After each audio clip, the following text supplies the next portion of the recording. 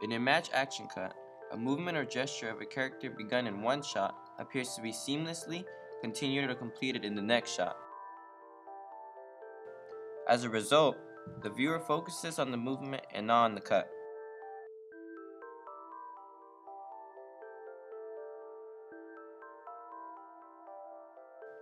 If movements from one shot to the next are not matched, that is, if the same action is repeated in adjacent shots or if a portion of the action is omitted from one shot to the next, the effect will be noticeable jerk and the action will lose its illusion of seamless continuity.